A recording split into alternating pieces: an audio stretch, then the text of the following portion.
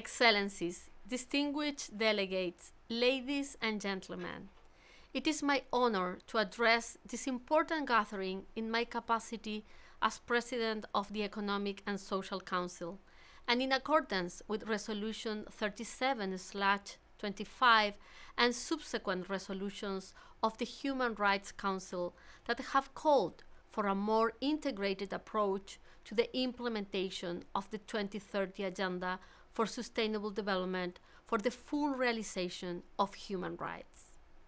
I will use this opportunity to briefly highlight the role of ECOSOC in focusing holistically on the means of implementation, including by integrating human rights into the international financial architecture reforms as a cornerstone for realizing the 2030 Agenda for Sustainable Development and a Human Rights Economy. The political declaration of the 2023 SDG Summit sent a strong political signal about the urgency of reforming the international financial architecture. The Economic and Social Council, including its various forums and segments, can help to translate the summit's commitments into focused policy guidance and practical actions. As President of the Council, I aim to make the most of these opportunities. ECOSOC, through its Forum on Financing for Development and the Development Cooperation Process, stands ready to advance the respect for human rights in the international financial architecture as we embark on the preparations of the fourth International Conference on Financing for Development in 2025. Member states will in 2024 be gearing up for the Summit of the Future, which is expected to address a broad set of governance reforms, including to the international financial architecture. We need to take steps, both individually and through international cooperation, to bridge the great finance divide through equality and no discrimination, prioritizing the most marginalized and committing to leaving no one behind. The realization of rights enshrined in human rights conventions especially economic and social rights, is closely connected with global economic and financial governance. The international financial architecture was crafted almost 80 years ago. Its governance arrangements are out of step with the realities of today.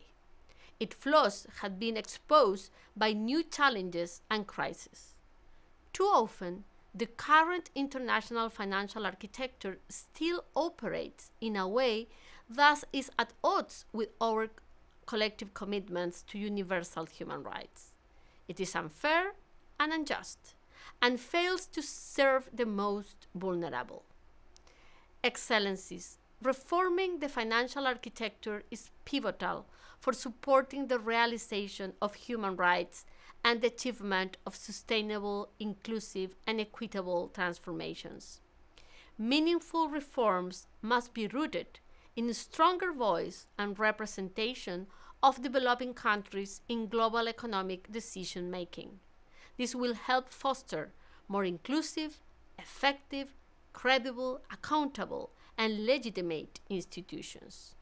Additionally, to support the human rights agenda, international financial institutions must further prioritize social spending and promoting fiscal space. They can do so by enhancing concessional funding while ensuring that social, environmental, and human rights safeguards are in place. Updating development banks' mission, policies, practice, metrics, and internal incentives to put a laser focus on achieving the 2030 Agenda will also be essential. Accelerating achievement of the SDGs is an imperative for all countries. But with more than 50 countries facing severe debt challenges, either in or at high risk of debt distress, progress is being slowed, halted, or even reversed. For many countries, debt servicing costs do not allow for SDG investment.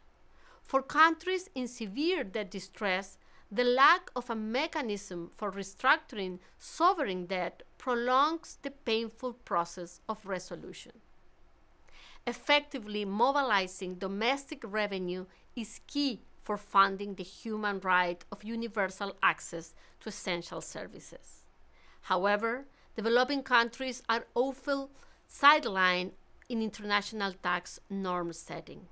They face obstacles on issues like tax related illicit financial flows and taxation of income from cross border services. The recent establishment of an ad hoc intergovernmental committee to develop draft terms of reference for a UN framework convention on international tax cooperation marks a crucial step in addressing this global challenge. The ad hoc committee provides a vital opportunity to build trust and consensus among member states through transparent and inclusive processes. By fostering a space where diverse voices are heard and valued, it can help pave the way for an inclusive, fair, and effective international tax system that not only supports but also helps to prioritize the fulfillment of human rights. In his report, Our Common Agenda, the Secretary General proposed a biennial summit of ECOSOC, the international financial institutions, and the G20 to discuss high level economic priorities and the contributions of different actors. This initiative merits further consideration. I would like to conclude this brief opening statement by thanking the Human Rights Council for its involvement in the work of ECOSOC. I welcome our continued collaboration this year as we prepare for the Financing for Development Forum and the High Level Political Forum on Sustainable Development. Let us strive to strengthen efforts to integrate our shared objectives in our work across the spectrum of sustainable development. Thank you for your kind attention, and I wish you success during the important deliberations taking place today.